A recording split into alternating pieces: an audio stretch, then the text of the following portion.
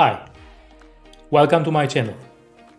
Today we will talk about VS Code, other words Visual Studio Code. It is one of the IDE which helps you to code basically. It is very famous amongst web developers and we will see how to install it and we will also take quick tour about it. Let's start.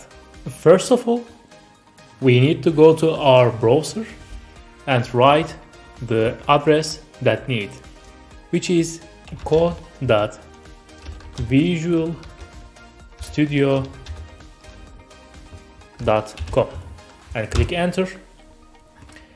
Now we will see something like this. It can depend on the version that while you were watching this video. However, currently we have this design in this website. So what this Visual Studio Code offers to us is we can code inside of it. So I will show for the Windows first, but if you guys need for the Mac version or Linux version, I can also show it later. Please write in the comments if you need any kind of this. So let's click download for Windows and start to installation. When you click it, you will see something is downloading here and it will automatically send you to document page. Now you can see the whole functions of VS Code. However, this is just tutorial for installation and quick guide. Therefore, I will not go one by one, but in the future, we will continue on VS Code series more. Now let's see how installation works.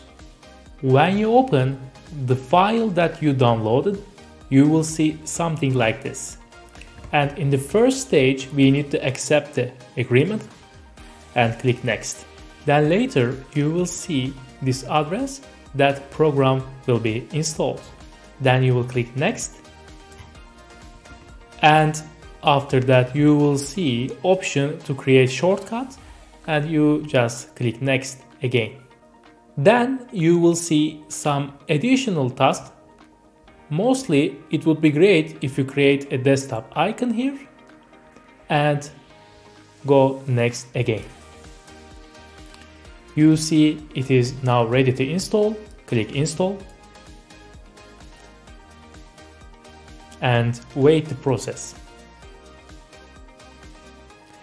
Now it is installing and after that we have got option to launch VS Code. Let's finish this and go to VS Code. Now you are successfully installed VS Code and you are able to open it. Let's make quick tour about it. Later I will also publish a video that will examine VS Code very carefully and I will give you some more tips and tricks. When you open VS Code, you will see something like this. You will see some welcome and you have got some options. First of all, we can create some new file or we can open file, open folder, or we can directly play with Git. However, in this tutorial, I will just show you very basic stuff, like creating and opening a folder in VS Code. First of all, we need to click Open Folder here. Now click Select Folder and you will see we have got this option in the VS Code. It says, do you trust authors of the files in this folder? It is automatically asking this because of the security reasons. Just click this and yes, I trust the authors because this is your folder already. Now we saw how to open a folder. Let's see how to open a file under this folder. There are some couple of options here. First of all, when you go to, to near to test in the under Explorer, you see plus button here and when you hover it, you will see new file. It means that when you click this, you have got option to create new file. Let's write here index HTML. I have created HTML file for just example. You don't need to worry about it if you don't know anything about HTML. We will create a new video about HTML and I will try to teach you guys. This is how you create file. Let's create folder under folder. When you go to next of the new file, you will see new folder. When I click this, you see I have got new folder option here. Let's write new folder. As you can see, now we can create new folder. Now here, index.html is same as level as new folder. If I want to put this index.html under new folder, I need to click it and like drag it under new folder. And you see it is now under new folder. This is how you create new file or new folder directly from these icons. Also, you can right click here and you will see two options, new file, new folder. Now let's go to next stuff. In the left top corner, you will see some options called File, Edit, Selection, View, Go, Run, Terminal, and Help. Let's examine them one by one. The file is just for the manage your file system in VS Code. You will see some options like new text file, new file, new window. And you have got some open options. And most of the important stuff here is saving and autosave. And we have got preferences and etc. Now let's see what are the shortcuts for the famous stuff that we will use in VS Code mostly? For example, creating new text file is Ctrl plus N. Also, open file is Ctrl plus O. And save is Ctrl S. Also, what I suggest you to open this option called autosave. When you click it, you will see now autosave is clicked. It means that you don't need to physically save your file every time, it will autosave it. So it will do this save action for you. And the second stuff is edit. Here mostly we use shortcuts. However, you see there are undo, redo, cut, copy, paste. Also you can use Ctrl F and Ctrl plus H for the replace. And mostly used command shortcuts are toggle line command, toggle block command. Now let's give an example about those commands. I will go back to my index.html and I will just write some stuff. You don't need to worry about it.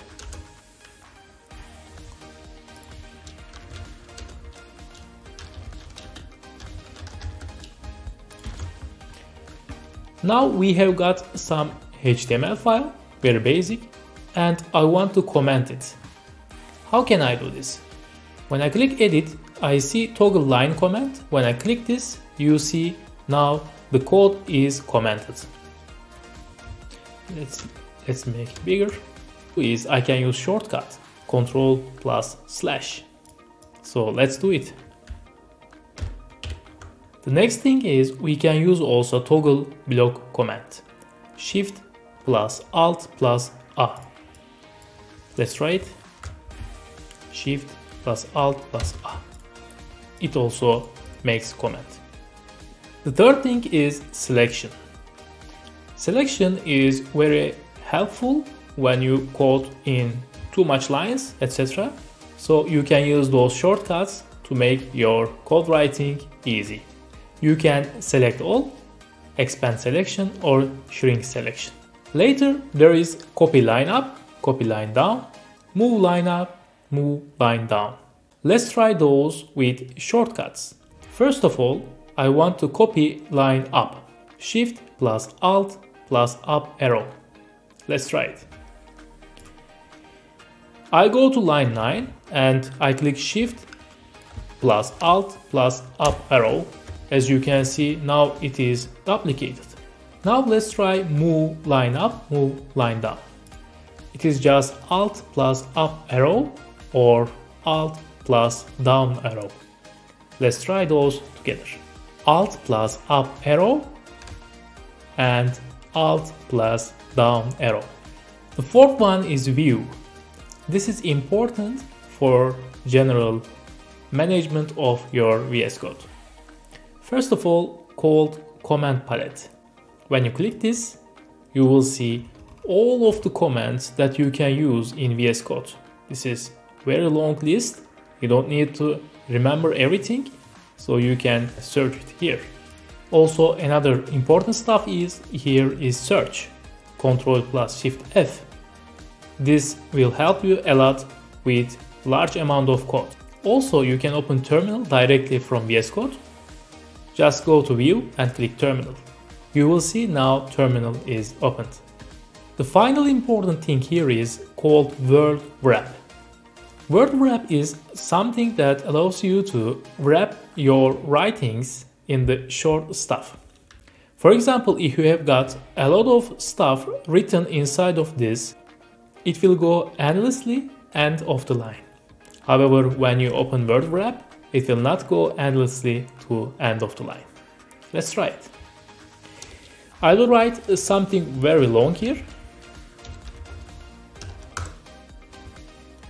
Now you can see text cover whole page.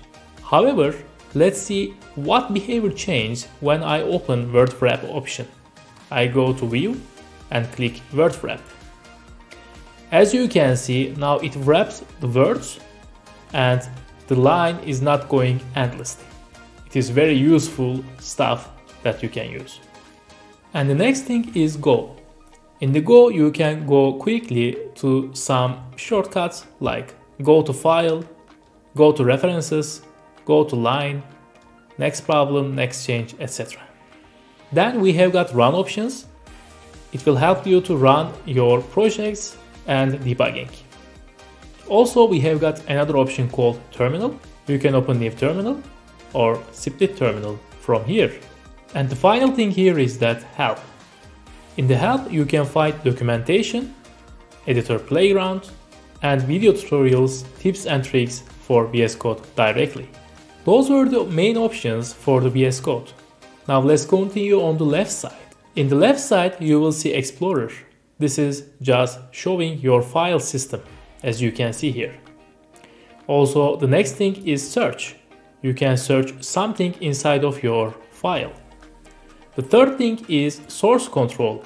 It is about Git and we will have another video about this directly, but it is version control system. The fourth thing is run and debug. It is for running and debugging your projects and we will also see this a lot in the future. And the final thing here is that called extensions. It is very important and makes your VS Code more colorful.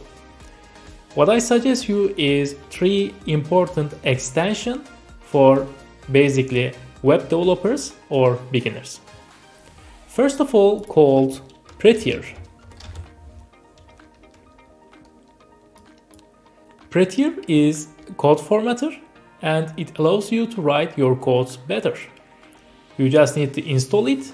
It is installed already in my computer, but you need to install it, then it will be enabled. The second extension that I suggest is Live Server.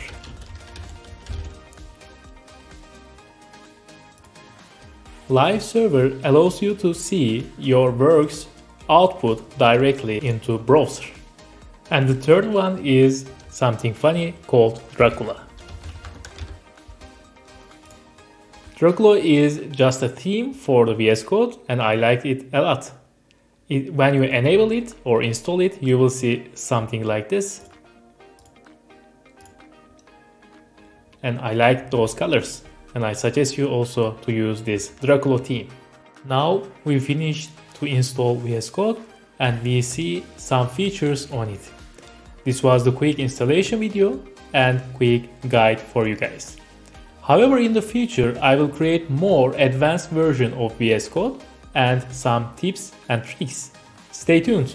Take care. Bye.